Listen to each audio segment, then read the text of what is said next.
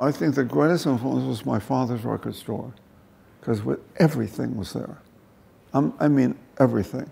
My brother and I, our first job in the store was going to the basement and breaking records, because uh, in those days uh, it was the uh, the old 78s, and uh, you got a 10 cent refund on all the broken records.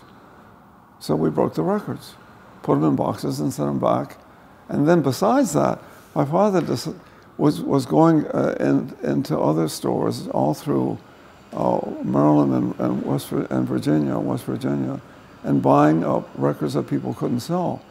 Then we were breaking them and returning them and getting 10 cents for each record. I had to know everything in the store. First of all, I was, by the time I was 15, I was a, the buyer for the store.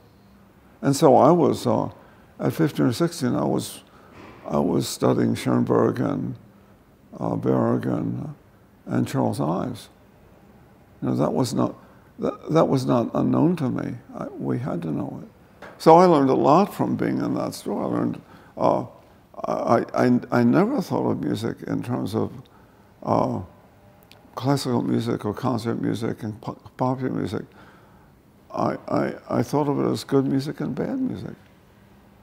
And and some of the bad, some of the good music was other people considered very bad, and I didn't care.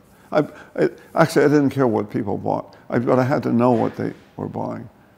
If they, if they said they, they came and said, I want to get a, a Beethoven, I want to get the, I said, well, and I would say, do you like it fast or slow? And they said, well, if you want it fast, you get Toscanini. If you want it slow, you get Furtwängler or Walter. I said, or, or, do you want something more modern? We'll give you, we'll, we'll we'll, we'll get Leonard, Bernstein, you know, something that's even better. And I was a kid, I was 14, 15 years old, 16 years old. Um, but they believed me because I actually, I, it looked like I knew and I did know. So, so the biggest influence was learning all that music.